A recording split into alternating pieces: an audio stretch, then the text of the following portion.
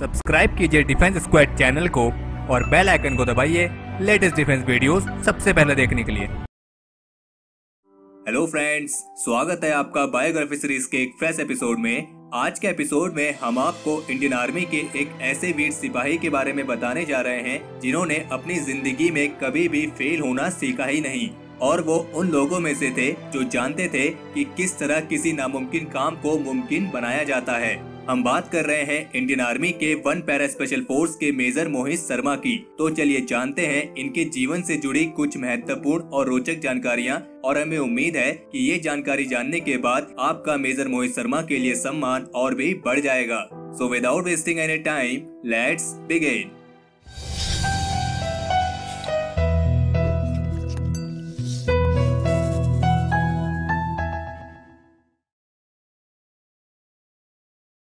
अपने दोस्तों में माइक के नाम से मशहूर मेजर मोहित शर्मा का जन्म 13 जनवरी 1978 को रोहतक, हरियाणा में हुआ था। इनके पिता का नाम श्री राजेंद्र प्रसाद शर्मा और इनकी माता का नाम श्रीमती सुशीला शर्मा है। मेजर मोहित शर्मा के परिवार वाले इनको चिंटू के नाम से बुलाते थे।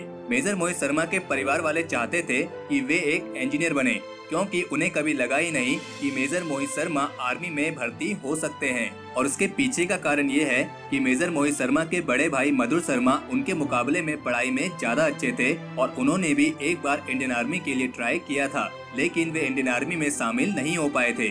और इसी वजह से मेजर मोहित शर्मा के परिवार वालों को लगा कि जब उनके बड़े भाई मधुर शर्मा जो कि पढ़ाई में उनसे कहीं ज़्यादा बेहतर हैं, वो इंडियन आर्मी में शामिल नहीं हो पाए तो फिर मेजर मोहित शर्मा के लिए भी इंडियन आर्मी में शामिल होना मुश्किल है। लेकिन मेजर मोहित शर्मा का सेना में शामिल होना कोई शौक नहीं था, बल्कि ये उनका जुनून था, और वो फैसला कर चुके थे कि उन्हें सेना में ही शामिल होना है। और मेजर मोहित शर्मा एक ऐसे इंसान थे, जो एक बार जो कमिटमेंट कर लेते थे, फिर उसे हर हाल में पूरा करते थे। यूँ तो मोहित शर्मा को भी एक टिपिकल दिल्ली वाले लड़कों की तरह ही कई सारे शौक थे, जैसे कि अच्छे कपड़े पहनना घूमना फिरना और दोस्तों के साथ पार्टी करना। Major Mohit Sharma, Michael Jackson के फ़ैन थे और वे गिटार, माउथ ऑर्गन और सिंथेसाइजर जैसे कई म्यूजिकल इंस्ट्रूमेंट्स बजाने में भी एक्सपर्ट थे।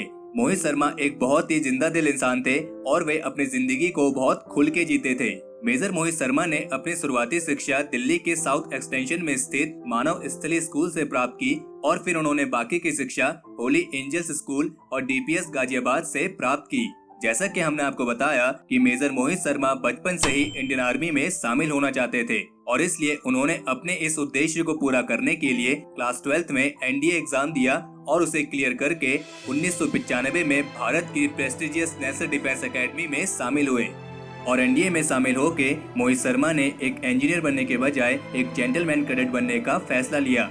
मोहित शर्मा में एक्सीलेंस और परफेक्शन की बिल्कुल भी कमी नहीं थी और इसी वजह से वे अपने एनडीए कोर्स के दौरान अपने बैच के सबसे एक्सलेंट कैडेट्स में से एक थे। अपने एनडीए कोर्स के दौरान मेजर मोहित शर्मा ने एक horse riding champion boxing champion और बेस्ट स्विमर का भी खिताब जीता था। और मेजर मोहित शर्मा को इसी एक्सीलेंस और परफेक्शन के लिए एनडीए के बाद आईएमए में, यानी इंडियन मिलिट्री एकेडमी में बीसीए, यानी बटालियन कैडेट एडजुटेंट की रैंक से भी सम्मानित किया गया। और मेजर मोहित शर्मा उन चुनिंदा लोगों में से थे, जिन्हें उस समय के राष्ट्रपति श्री के आर नारायण से राष्ट्रपति भवन में मिलने का अवसर प्राप्त हुआ। तो चलिए बात करते हैं मेजर मोहित शर्मा के शानदार मिलिट्री कैरियर के बारे में। मेजर मोहित शर्मा 11 दिसंबर 1999 को इंडियन मिलिट्री एकेडमी से पास आउट होकर पांचवी मद्रास रेजिमेंट में कमीशन हुए और उसके बाद उन्होंने कश्मीर में 38 आरआर के साथ मिलकर कई काउंटर इंसर्जेंसी ऑपरेशंस में हिस्सा लिया, जिसमें उन्होंने अपने अदम्य साहस और वीरता का परिचय दिया और उनकी इस वीरता के लिए मेजर मोहित शर्मा को उनकी सर्विस के तीसरे साल में ही सन 2002 में पहले गैलेंट्री मेडल सीओ यानी chief of army staff commendation medal से सम्मानित किया गया।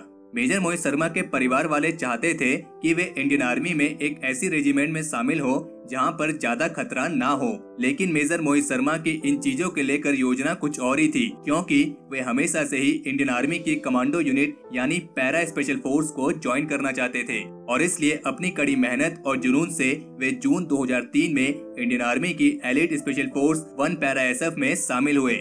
मेजर मोहित शर्मा को ऐसे काम बहुत पसंद थे जो एक्शन और एडवेंचर से भरे हों, और इसलिए one para SF Major Mohit Sharma के लिए एक परफेक्ट जगह थी, जिसमें आतंकियों का सफाया करना उनका फेवरेट काम था, और इसी दौरान उन्हें कई एंटी टेरर ऑपरेशन के लिए सन 2004 में सेना मेडल से भी सम्मानित किया गया था। मेजर मोहित शर्मा जनवरी 2005 और दिसंबर 2006 में बेलगांव में स्थित कमांडो विंग में दो साल के लिए इंस्ट्रक्टर भी रहे थे। वन पैरा एस के कमांडोज को ओवर्ट और कोवर्ट दोनों तरह के ऑपरेशन के लिए ट्रेन किया जाता है। यानी ये कमांडोज खुले में भी लड़ाई लड़ सकते हैं और छिपकर भी।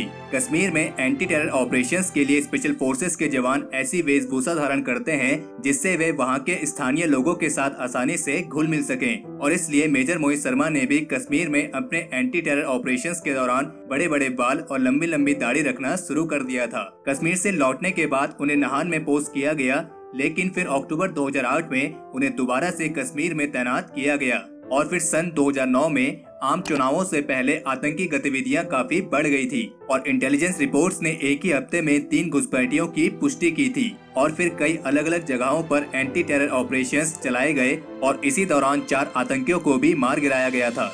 लेकिन फिर इंटेलिजेंस रिपोर्ट्स ने बताया कि हापुड़ा के जंगलों में आतंकियों का एक बड़ा ग्रुप छिपा हुआ है। हम आपको बता दें कि कश्मीर में हापुड़ा के जंगलों को काफ़ी कठिन इलाका माना जाता है, लेकिन मेजर मोहित शर्मा इन हापुड़ा के जंगलों में भी एक्सपर्ट थे।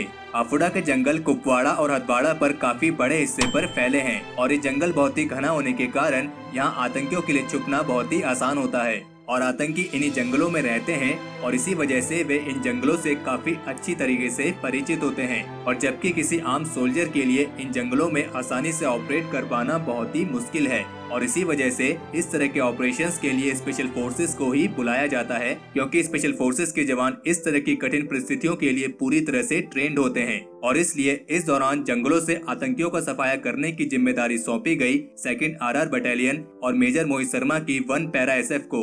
जिस समय यह ऑपरेशन चल रहा था, उससे पहले मेजर मोहित शर्मा की होली की छुट्टियाँ मंजूर हो चुकी थी और वे अपने घर जाने वाले थे। लेकिन फिर इसी दौरान मेजर मोहित शर्मा के एक साथी के कज़न ब्रदर की डेथ हो गई थी और उनके साथी ने अपने कमांडिंग ऑफिसर से दो दिन के लिए छुट्टी का आग्रह किया। पर चूँकि मेजर मोहित शर्मा की छुट्टियों को पहले ही मंजूरी दी जा चुकी थी और इसलिए कमांडिंग ऑफिसर ने उनके दोस्त की छुट्टी को मना कर दिया, क्योंकि उस समय स्टाफ की कमी थी। लेकिन जब मेजर मोहित शर्मा को ये बात पता चली तो उन्होंने अपने कमांडिंग ऑफिसर से अपने दोस्त की छुट्टी के लिए आग्रह किया और उन्होंने कहा कि उनकी छुट्टी को एक महीना एक्सटेंड कर दिया जाए और जब उनका दोस्त छुट्टी से वापस आ जाएगा तो फिर उसके बाद वे छुट्टी पे जाएँगे। यानी अगर मेजर मोहित शर्मा अपनी छुट्टी को आगे एक्सटेंड नहीं कराते तो शायद आज वो ज़िंदा होते।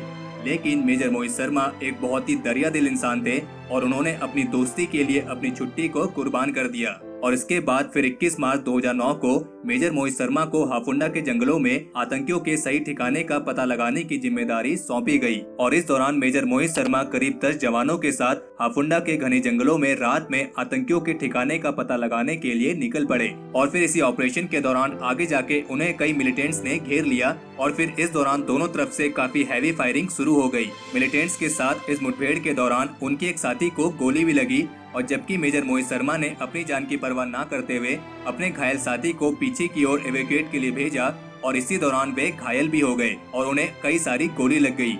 और इतनी बुरी तरह से घायल होने के बावजूद भी उन्होंने पीछे हटने से मना कर दिया और आतंकियों का डटकर मुकाबला करते रहे। और इसी दौरान आतंकियों का मुकाबला करते करते 21 मार्च 2009 को मेजर मोहित शर्मा ने अपने जीवन का बलिदान दे दिया और मेजर मोहित शर्मा को आतंकियों के खिलाफ असाधारण वीरता, अदम्य साहस और प्रेरक नेतृत्व के लिए मरणोपरांत अशोक चक्र से भी सम्मानित किया गया। लेकिन वीर कभी मरते नहीं हैं, बल्कि वो वीर गति को प्राप्त होते हैं और वे इतिहास के पन्नों में सदा सदा के लिए अमर हो जाते हैं और हम मेजर मोहित शर्मा के सर्वोच्च बलिदान के लिए सदा ऋणी रहेंगे।